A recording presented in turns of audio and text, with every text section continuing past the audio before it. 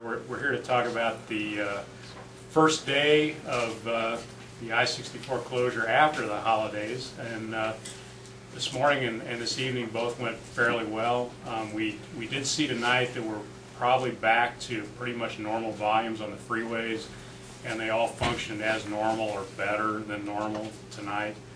Um, Most of our issues on most of the arterial routes ran really well tonight, with the exception of a couple, and I'm going to let uh, the county and the city talk about those. We would like to recommend uh, people in Clayton that can get to uh, 170 southbound to Eager Road eastbound to Hanley. That's a very good alternate route. It's very underutilized at this time. One other uh, underutilized route is if you're going to northwest part of the county to take uh, Hanley Road to Midland, Midland to Lindbergh is very underutilized also.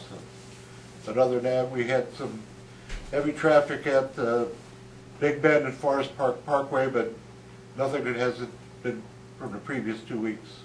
So that's all I have. Forest Park and Skinker is our big major intersection. Uh, This evening rush, we had over 2,000 cars go through westbound during a one-hour period. That almost sets a new record.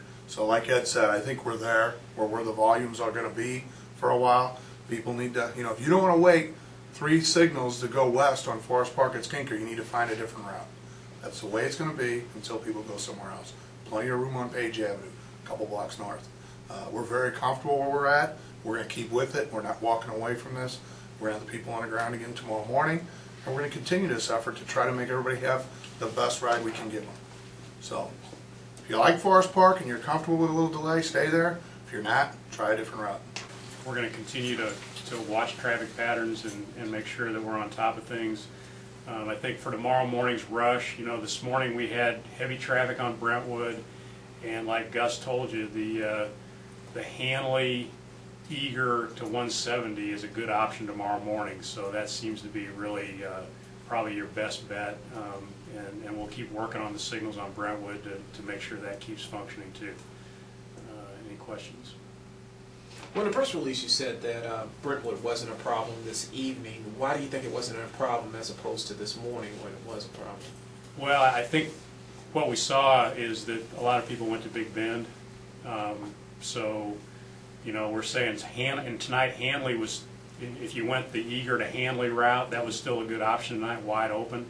So that's kind of where we're saying is your best option, really in the morning and the evening, what we've seen after the first day. Okay.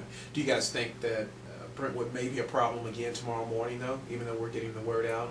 I, I think if people don't change, um, yeah, if they do what they did this morning, Brentwood's gonna be a problem tomorrow, so use Hanley.